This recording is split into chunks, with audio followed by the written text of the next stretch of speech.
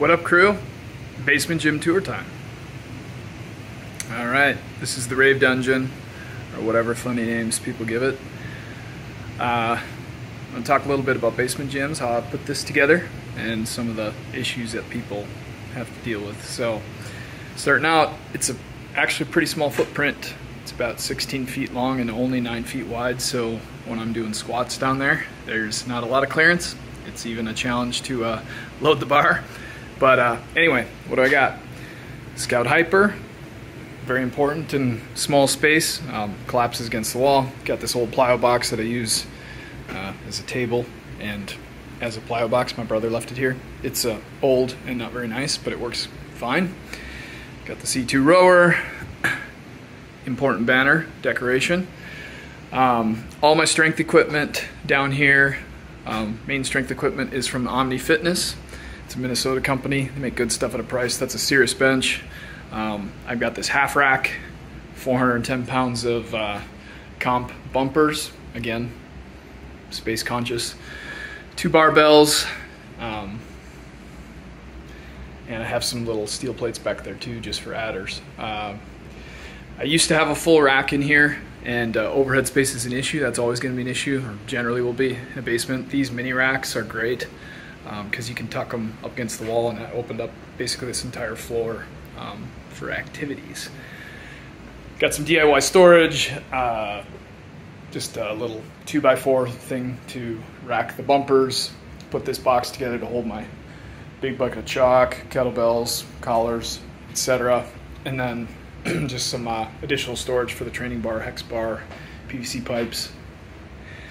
Through uh, board up there just to hang some hooks um, for the vest, ropes, bands, belts, etc. then, uh, since there's no pull-up bar on the rack, I have my favorite piece of equipment down here, the uh, DIY fat free spinning pull-up bar. Makes it extra spicy. Got my rings. Um, they're just hung on coat racks from the Home Depot.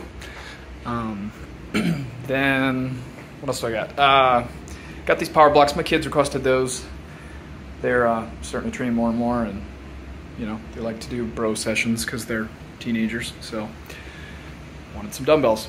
Uh, that's sort of it for the main gym. There is an Airdyne tucked back here that I don't use, and I'm going to give to a buddy because who likes that thing? And then out here, probably you know, best purchase I've ever made living in Minnesota is the Trueform trainer. So had this thing about a year. I use it all the time, so much so that I, you know, I hardly ever row anymore. So, um, really key, not only for basement athletes, but cold weather athletes. It's October 30th. It's already below freezing this morning. So, pretty important. Really changed the game for me. I mean, I find uh, that was probably one of the best investments I could have made just because of how we train, particularly on the hard to kill track with all the, um, you know, different. Uh, mixed modal stuff. So, uh, lastly, just um, you know, if you are putting a gym together, I really do believe in keeping it super simple. You'll see I do not have a lot of extras down here. I have very nice things, but very few of them, and things that I use all the time, uh, other than that plyo box. But look, you don't need a lot. I 90% of the time I'm using my true form, barbell bumpers, um, pull-up bar. Like that's really all you need. And lastly, get yourself some LED lights. It's fun. I mean, how often do you uh, get to do squats with, uh, you know, flashing lights around you? Unless you're, I don't know, doing them illegally and getting arrested. It's a lot of fun. So get you some LED lights. That's it. Keep moving.